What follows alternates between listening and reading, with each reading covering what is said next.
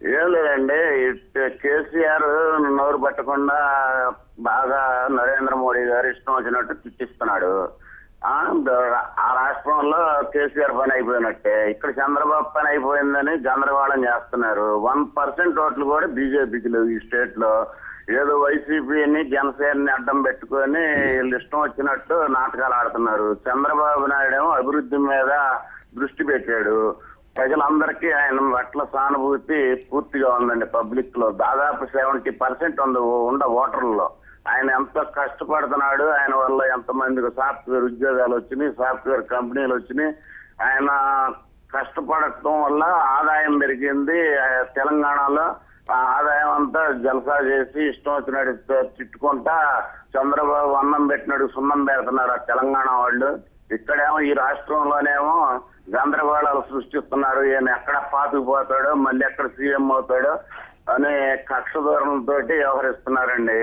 మోడీ ఏమో అప్పుడు ట్రైన్లో విపరీతంగా తగలబడి జనాన్ని చంపాడు కదండి గుజరాత్లో అది కడుపులో పెట్టుకొని చంద్రబాబు మీద ఈ కక్ష సాధింపులకు దిగినయ్యాడండి. Right right right. Thank you very much thank you very much Koteswara garu. మరో కాల్ ఉన్నారు హైదరాబాద్ నుంచి సత్యనారాయణ గారు. సత్యనారాయణ గారు. హలో సత్యనారాయణ గారు సార్ ఓకే. మాట్లాడండి sir sir sir Srinivasarao sir మాట్లాడింది మంచి. నమస్కారం అండి ఇప్పుడు ఆ రోజు దినంలో పవన్ కళ్యాణ్ లేకుండా ఆ, ఈ చంద్రబాబు నాయుడు విజయవాడలో పోటీ చేసిండా మ్మ్. సార్ మా మంచిగా మాట్లాడాడు. ఆ రోజు అందరూ టీడీపీ వాళ్ళు వచ్చారు కాంగ్రెస్ వాళ్ళు వచ్చారు అందరు వయసు ఆయన పాదాలు వస్తున్నారు ఇలా ఇప్పుడు విజయవాడకి వెళ్ళి ఇద్దరు మాట్లాడారు. సార్? వాళ్ళు ఏం మాట్లాడారు? చంద్రబాబు నాయుడు గురించి మాట్లాడతారు. ఇవాళ కేసీఆర్ గురించి మాట్లాడతారు. కేసీఆర్కు చంద్రబాబుకు ఏం తేడా? కేసీఆర్ ఒకటే మాట్లాడతాడు. చంద్రబాబు ఏమైనా డబుల్ గేమ్ మాట్లాడతాడు. ఆ? ఇప్పుడు మాట్లాడే విధానం ఉండాలి. ఎన్ని ఎన్ని మాట్లాడతారు? ఆ?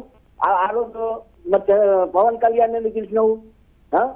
పవన్ కళ్యాణ్ లేకుండా ఏ రోజు ఎందుకు మాట్లాడుతున్నావు పవన్ కళ్యాణ్ అంటావు ఇది అంటావు అది అంటావు ఇవాళ పవన్ కళ్యాణ్ లేకపోతే నువ్వు ఆ రోజు ఎప్పుడు గెలుస్తుంది మ్మ్. ఏం సార్? మాట్లాడే విధానం ఉండాలి. పవన్ కళ్యాణ్ అంటావు కేసీఆర్ అంటారు కేసీఆర్ ఏం చేసిందండి. తెలంగాణలో మంచి మంచి వ్యక్తి మంచి దేవుడు. పబ్లిక్ లోపల ఊళ్ళల్లో కొండండి ఇలా వీళ్ళల్లో మాట్లాడతారు వీళ్ళు వాళ్ళు మాట్లాడతారు ఏం మాట్లాడతారు? కేసీఆర్ ద్రోహం చేసిండు. ఏం ద్రోహం చేసిండు? నలభై సంవత్సరాల ద్రోహంలో నలభై సంవత్సరాలు అరవై సంవత్సరాలు పరిపాలించిన వాళ్ళు. పరిపాలించిన అలా నాలుగు సంవత్సరాల మా కేసీఆర్కు ఏమి చెప్పండి రెండు సంవత్సరాలు ఈ- ఈ నొల్లి అయిపోతుంది.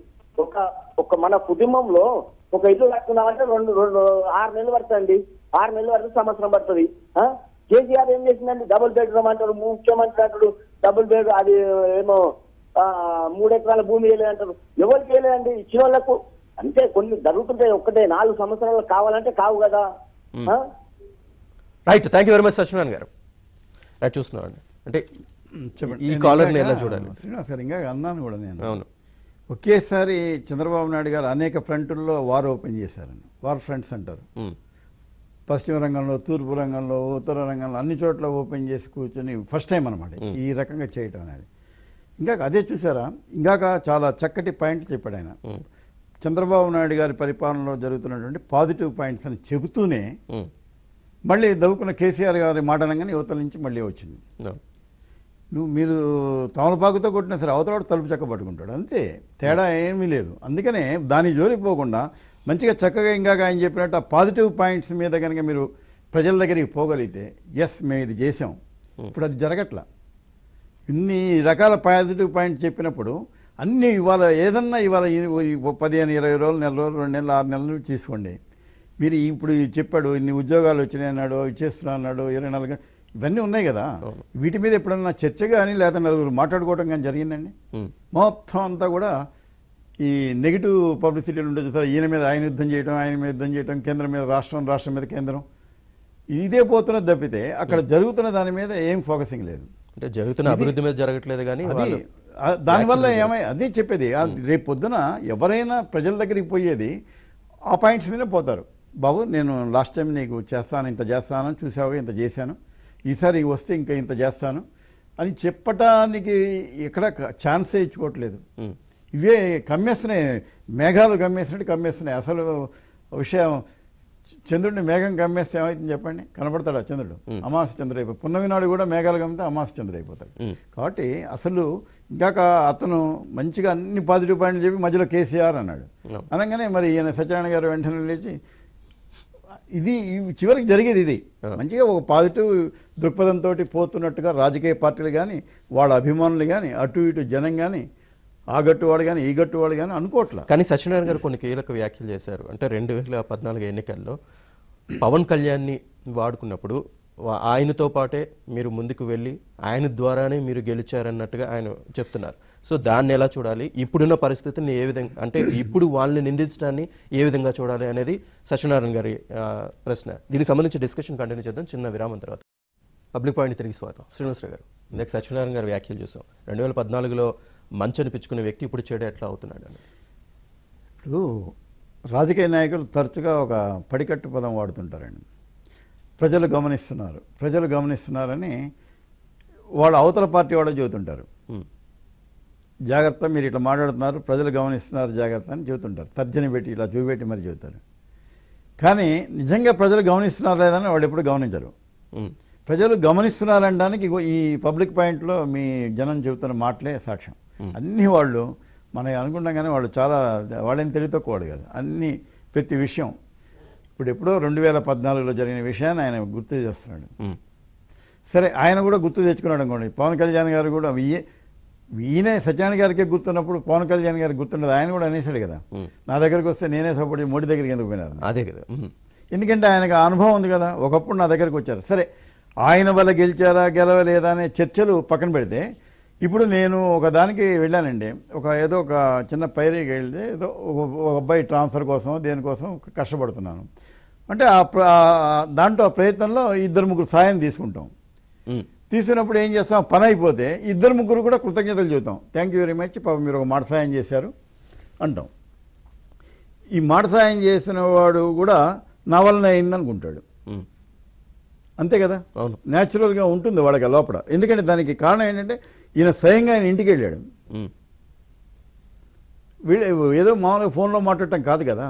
ఫో ఇంటికి వెళ్ళి పోయి ఎప్పుడు వెనక మనం కృష్ణుడు అర్జునుడును దుర్యోధనుడు ఇద్దరు శ్రీకృష్ణుడి దగ్గరికి వెళ్తారు. అట్లా పర్సనల్గా వెళ్ళి అడగటం కదా. అది జరిగిన ఆ అనుభవంతో ఆయన ఏమన్నాడు పవన్ కళ్యాణ్ గారు? మోడీ ఈ మాత్రం దానికి మోడీ దగ్గరికి పోవటం ఎందుకు? నా దగ్గరికి వస్తే నేనే గెలిచేవాడిని కదా. ఆ సపోర్ట్ ఏదో అన్నట్టుగా ఆయన అన్నాడు. రాహుల్ రాహుల్ దగ్గరికి వెళ్ళి ఆ? రాహుల్ సారీ మోడీ కాదు. రాహుల్ దగ్గరికి పోతే ఆ రాహుల్ దగ్గరికి పోయి నా దగ్గరికి రావచ్చు కదా అని. అంటే మరి ఆయన ఆ అనడానికి ప్రాతిపదిక ఉంది కదా. ఈయన పోయినాడు కదా ఇంటికి పోయినాడు కదా? అందువల్ల ఆ ధైర్యంతో ఆయన అన్నాడు. ఇప్పుడు కాలర్ కూడా అదే దాన్ని అన్వయిస్తూ ఆయన కలిపి ఈయన మాట్లాడాడు రైట్ మరో కాల్ ఉన్నారు ప్రకాశం జిల్లా నుంచి వెంకటేశ్వర్ గారు. వెంకటేశ్వర్ గారు. హలో వెంకటేశ్వర్ గారు. హలో వెంకటేశ్వర్ గారు మాట్లాడండి. నమస్కారం. సార్ నా పేరు వెంకటేశ్వర్లు సార్. అందరికి నమస్కారం ఒకసారిగా. నమస్కారం. ఆ, సార్ ఇప్పుడు చంద్రబాబు నాయుడిని ప్రతిదానికే విమర్శించడం మొదలు పెట్టారే చెప్పండి. ఆ, సార్ హలో? మీరు. చెప్పదలుచుకుని సూటిగా చెప్పండి. ఇప్పుడు తెలంగాణ వచ్చేసరికి కేసీఆర్ గారు చంద్రబాబు నాయుడినే అంటుండు ఉమ్. హలో? యా వినిపిస్తుంది. మాట్లాడండి. తెలంగాణకి వెళ్ళేసరికి కేసీఆర్ చంద్రబాబు నాయుడిని టార్గెట్ చేస్తుండు. ఆంధ్రాకి వచ్చేసరికి ప్రతిపక్షాలన్నీ చంద్రబాబు నాయుడినే టార్గెట్ చేయడం జరుగుతుంది. అవునండి. రైట్ రైట్ వెంకటేశ్వర్లు గారు. నెక్స్ట్ ఇంకో కాల్ ఉన్నారు వైజాగ్ నుంచి సత్యనారాయణ గారు. సత్యనారాయణ గారు. ఆ, నమస్తే అండి. నేను వైజాగ్ నుంచి అండి. నమస్కారం అండి. సార్ నేను ఒక చిన్న విషయం చెప్పదలుచుకున్నానండి. చెప్పండి. ఏంటంటే ఇప్పుడు తెలంగాణలో మన తెలుగువారు ఆంధ్రాలో మన తెలుగువారు మనం మనం ఎన్నైనా తిట్టుకోవచ్చు ప్రాంతీయ పార్టీలు కావచ్చు ఏదైనా కావచ్చు. ఇప్పుడు మన రాష్ట్రానికి బీజేపీ చేసే విధానాన్ని బీజేపీ వాళ్ళు బీజేపీ నడికి ఒక పని తేలేదండి మన ఆంధ్రాకి.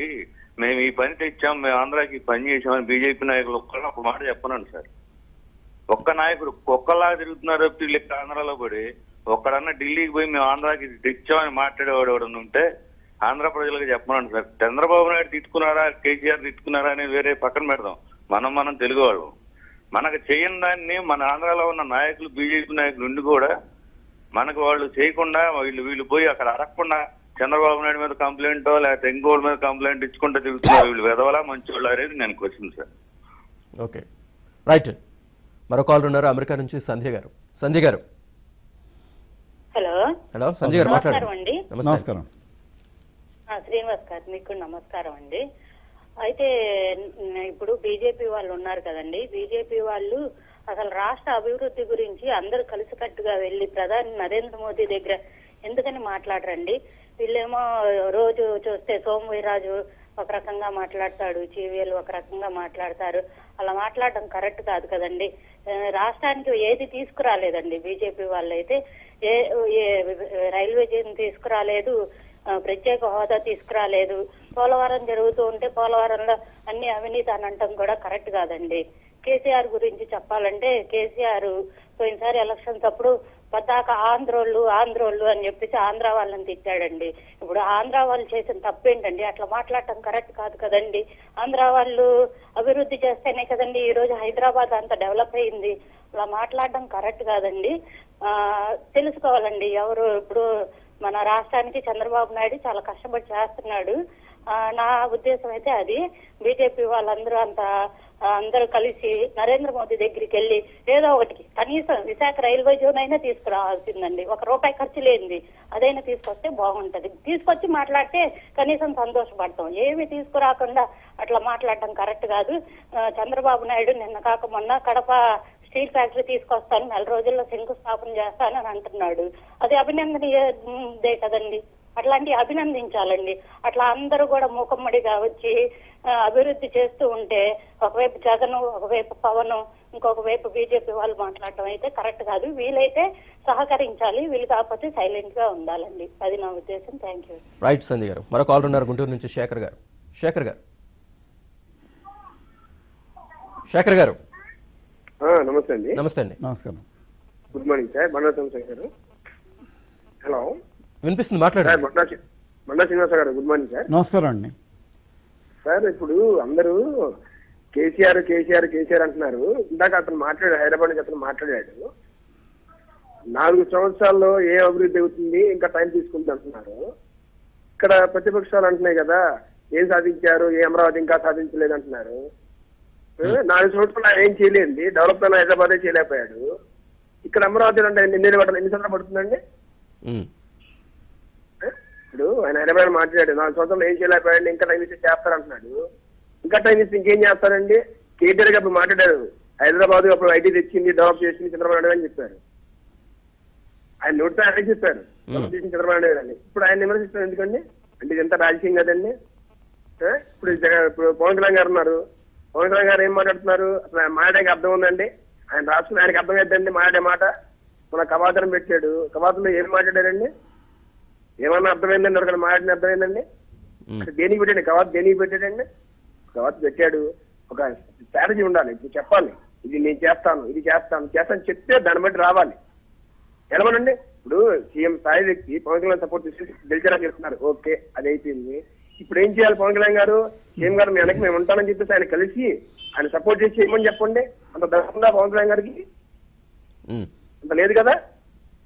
రైట్ రైట్ శేఖర్ గారు. థ్యాంక్ యూ వెరీ మచ్ ఒకటి అదే ఈ మీ కాలర్స్ నా బాధ్యత చాలా వరకు తగ్గించుకుంటూ పోతున్నారు. ఎందుకంటే నేను ఇవన్నీ కూడా ఎసెన్స్ వాడు చెప్పినట్టు కాకుండా అదే భాష కాకుండా నా భావాన్ని చెప్పాను. ఒకటి ఏంటంటే ముందు చెప్పినట్టుగా ఆయన అన్ని ఫ్రంట్లో ఒకేసారి ఓపెన్ చేసి కూర్చున్నాడు. ఇటు కేసీఆర్ గారు అటు మోడీ గారు ఇటు వైసీపీ ఇటు జనసేన వాట్ నాట్. ఒకళ్ళు అన్ని యుద్ధ రంగాల్లో అన్ని ఇప్పుడు రెడీగా మోహరించున్నారు వాళ్ళు. ఈయన ఓపెన్ చేసి అందరితోటి ఫస్ట్ టైం దిగాడు. చూడాలి. తర్వాత ఈ మంచి పనులు చేయడం అనేది గవర్నమెంట్ చాలా ఒకటేంటంటే ప్రతి గవర్నమెంట్ అండి. కుటుంబ పెద్ద అనుకుంటాడు నేను చాలా చేశాను నా పిల్లలకి అది ఏదో బొమ్మరీలు సినిమాలాగా చాలా చేశాను వాళ్ళకి ఎంత చేసినా కొంత అసంతృప్తి ఉంటుంది కొంత లోపల. చేయాల్సిన చేయలేదు చేయవలసిన విధంగా చేయలేదు అనుకుంటారు. ఈ చివరికి ఇది ప్రతిపక్ష పార్టీలు చేయలేదంటారు. ప్రభుత్వంలో ఉన్నవాళ్ళు నేను టీడీపీ అంటలేదు టీఆర్ఎస్ అంటలేదు మోడీ అంటలేదు. మామూలుగా పాలకపక్షానికి ఉండే నైజం ఏంటంటే నేను చాలా కష్టపడ్డాను నేను చేశానని చెప్పుకుంటారు. వాళ్ళేమో అసలు ఏమి చేయలేదు చెప్పినవి చేయకపోగా కొత్తవి కూడా ఏం చేయలేదని వాళ్ళు అంటారు సరే ఏది నిజం అనేది నిజంగా నిగ్గు తేల్చాల్సింది ప్రజలు రేపు ఓటేయబోయే ముందు ఈ గవర్నమెంట్ ఏదైనా చేసిందా లేదా అని ఆలోచించుకుంటారు కదా వాళ్ళు? యాక్చువల్గా ప్రజాభిప్రాయం బయటకు వచ్చేది అక్కడ. ఇప్పుడు పాలకపక్షాలు ఫుల్ పేజ్ అడ్వర్టైజ్మెంట్ ఇచ్చి చెప్పుకున్నా అది దాంట్లో నిజం ఉండవచ్చు లేకపోవచ్చు. ప్రతిపక్షాలు గగ్గోలు పెట్టి ఏమీ జరగలేదు హళ్ళికి హళ్ళి సున్నకు సున్నా అని చెప్పినా కూడా జనం నమ్మకపోవచ్చు. అసలు యాక్చువల్గా ప్రజలైతే మాత్రం నాకు తెలిసినంత వరకు వాళ్ళకి ఏదైనా మంచి జరిగితే ఆ మంచి చేసిన ప్రభుత్వాన్ని అయితే మర్చిపోరు. వాళ్ళకి ఆ కృతజ్ఞత ఉంటుంది. రాజకీయ పార్టీ నాయకులకి అనుచరులకి ఉండదండి. ఎప్పటికప్పుడు ఏ రోజు కాదు వాళ్ళు వాళ్ళ కడుపు నింపుతుండాలి. లేదా వాళ్ళు ఆ పార్టీ వదిలిపెట్టి వెళ్ళిపోతున్నారు. నిర్లజ్జగా నిస్సిగ్గుగా వెళ్ళిపోతున్నారు. కానీ ప్రజలు మాత్రం నిజంగా వాళ్ళ దగ్గర వాళ్ళ దగ్గర ఇంకా కాస్త నిజాయితీ నిలబడి ఉంది. ఎవరైనా ఏదైనా మంచి చేస్తే వాళ్ళు గుర్తిస్తున్నారు. నిన్న పవన్ కళ్యాణ్ వ్యాఖ్యలు తీసుకుందాం ఒకసారి. ఎందుకంటే చంద్రబాబు ఎక్కడి నుంచి మొదలు పెట్టారో మళ్ళీ అక్కడికే వచ్చారు. అన్నట్టుగా ఒక వ్యాఖ్య చేశారు.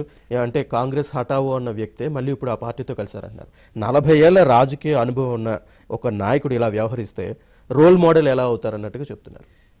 ఒకటి దీని మీద చర్చ చాలా సాగుతోందండి. కాంగ్రెస్ను వ్యతిరేకించిన పార్టీ కాంగ్రెస్ చేతులు కలపడం ఏంటని అది ధారాళంగా జరుగుతుంది. నేను దీనికి చెప్తానండి. కాలం గడుస్తున్న కొద్దీ ప్రజల మనస్తత్వాల్లో మార్పులు వస్తాయంటానికి నేను రెండే రెండు ఉదాహరణలు చెప్తాను. ఎనభై రెండు ఎనభై మూడులో ఈ ఎన్టీ రామారావు గారిని అధికారంలోకి వచ్చిన కొత్తల్లోనే నాదెండ్ల భాస్కరరావు గారి ఎపిసోడ్లో దించినప్పుడు ప్రజాస్వామ్య ఉద్యమం వచ్చింది. ఇలా మీరు పార్టీలు మారి ప్రభుత్వాలను పడగొడితే ఊరుకుండేది లేదని చెప్పి ప్రజలు తిరగబడ్డారు. ప్రజలే. ఆ ప్రజల ఆగ్రహానికి భయపడే ప్రభుత్వాలు తగ్గొచ్చినాయి. ఆ రోజుల్లో పరిస్థితి అలా ఉంది. అంటే ఏంటి? ఈ పార్టీ టికెట్ మీద ఎన్నికై ఇంకొక పార్టీలో పోతే నిన్ను వదిలిపెట్టేది లేదు సుమా అని ప్రజలు ఆ రోజుల్లో అనుకున్న మాట. తొంభై ఐదులో ఏం జరిగిందండి. తొంభై ఐదులో కూడా అలానే ఎన్టీ రామారావు గారిని దించి చంద్రబాబు నాయుడు గారు ముఖ్యమంత్రి అయ్యారు. అప్పుడు ప్రజల మనస్తత్వంలో ఏ మార్పు వచ్చిందో చూడండి. ఎంత తేడా వచ్చిందో చూడండి. అదేదో పెద్ద తప్పు కాదన్నట్టు పార్టీ మారడం పెద్ద ఏం కాదన్నట్టు మారుతుంది. రైట్ అంటే మీరు ఎన్టీఆర్ కూడా- రాజకీయ కలయిక కోసం నేను అన్నది ఏంటంటే ప్రజల మనస్తత్వాల్లో మార్పు రావడం వల్ల ఒకప్పుడు కాంగ్రెస్ పార్టీకి వ్యతిరేకంగా పుట్టిన పార్టీ కాబట్టి వాళ్ళు కలవడానికి లేదు. ఏమో మార్పు ప్రజల మనసులు మారుతాయి. మీ మీరు మార్చుకోగలేంది రాజకీయ నాయకులు ఇష్టం వచ్చినట్టు మీరు విధానాలు పార్టీలు మీరు అన్ని మారుతున్నప్పుడు ప్రజల మనసులు కూడా మారవని అనుకుంటారు? కాబట్టి శ్రీనివాస్ గారు ఎన్టీఆర్ ప్రస్తావన తెచ్చారు కాబట్టి నిన్న కాంగ్రెస్ అధ్యక్షుడు మామూలుగా ఆయన ఒక సారీ కేంద్ర మాజీ మంత్రి కాంగ్రెస్ సీనియర్ నేత చింతా మోహన్ గారు కొన్ని వ్యాఖ్యలు చేశారు.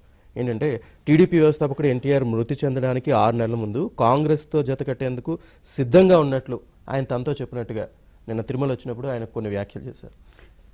అది ఎన్టీ రామారావు కాదు. కాదు అది మీరు కాదు. ఇప్పుడు కాదు. అసలు ఎయిటీ టు ఎయిటీ త్రీ ప్రజాస్వామ్య పునరుద్ధరణ ఉద్యమం జరిగిన రోజుల్లో కూడా అది మీరు వెళ్ళి పివిఆర్కే ప్రసాద్ రాసిన పుస్తకంలో కూడా ఉంది అది. కాంగ్రెస్ అవసరమైతే కేంద్రంతో ఘర్షణ తగ్గించుకుంటాం అన్నట్టుగా అంటే జత కడతాం అని కాదు. ఈ ఘర్షణ వైఖరి తగ్గించుకుంటాం అన్నట్టుగా. ఇవన్నీ జరుగుతాయండి. నేను చెప్పేది ఇవన్నీ పట్టుకొని ఆ రోజు ఇలా అన్నారు ఈ రోజు ఇలా అన్నారంటే ఇవాళ చిటికల మీట నొక్కితే వచ్చేస్తున్నాయి. ఎవరు మాట్లాడింది? అది జనం నమ్మటం బట్టి ఉంటుంది. ఇప్పుడు మీరు ఒకప్పుడు మాట్లాడిన మాటలు ఇవాళ చలో ఇప్పుడు అట్లా అనుకుంటే ప్రతి రాజకీయ నాయకుడిని పది నిమిషాల్లో బయటపడేయచ్చు. పది నిమిషాల్లో. ఎప్పుడో ఈ పదేళ్ళ క్రితం ఇరవై ఏళ్ళ క్రితం కాదు పది రోజుల క్రితం అన్నది తీసివేసేయచ్చు మీరు. అప్పుడు పది రోజుల క్రితం ఇలా అన్నావు ఇప్పుడు పదో పదకొండో రోజు ఇలా అంటున్నావు ఏంటని అంటే వాళ్ళ జవాబు వాళ్ళ దగ్గర ఉందా? కాబట్టి ఇవాళ అనుకూలం బట్టి సానుకూలత బట్టి రాజకీయాలు నడుస్తున్నాయి. ఇక దాన్ని తప్పట్టం అందుకే ముందే అన్నిటికీ ముందే చెప్పాను. ఈ పొత్తులకి వీటికి అనైతికం నైతికం అంటూ ఉండదండి. ఆ విశేషణాలు తగిలించడం అనవసరం. రాజకీయాల్లో మీరు నీతిని నిజాయితీని ఆశించడం వేస్ట్. ఇవన్నిటికీ సిద్ధపడితేనే రాజకీయాలు నా కంటి చూడగలిగితేనే మీరు భరించగలుగుతారు. ఇవాళ అందరూ అదే చేస్తున్నప్పుడు ఎవరిని మీరు తప్పు చేస్తున్నారు మీరు ఒప్పు చేస్తున్నారని మనం చెప్పగలం చెప్పండి. అది ఇవాళ ఉన్న పరిస్థితి ఏంటంటే మారిందండి. మా ప్రజల మనస్తత్వం కూడా మారింది. ఒకప్పుడు ఏవగించుకున్న దాన్ని ఇవాళ పర్వాలేదులే పోనీలే ఏం చేస్తారు అనే పరిస్థితి వచ్చింది. ఒకప్పుడు ఇళ్ళలో పిల్లలు గురువు అని పిలిస్తే తొడపాసం పెట్టేవాళ్ళు. ఇవాళ ఆడపిల్లలు కూడా ఏం గురువు అంటే ఏం గురువు అని మాట్లాడుకుంటూ నోరు మోసం కూర్చుంటున్నారు. కాబట్టి ఏంటంటే ఆ సైకలాజికల్ చేంజ్ వచ్చేసింది. పెద్దాన్ని యాక్సెప్ట్ చేయగలిగినటువంటి విధానం కూడా వచ్చింది. ఒకప్పుడు దానికే కట్టుబడి ఉన్నామంటే ఇక ఇప్పుడు కమ్యూనిస్టులు వితండవాదం ఉంటారు సరే వాడు ఒక పార్టీ పెట్టుకుని దానికే కట్టుబడి ఉంటారు.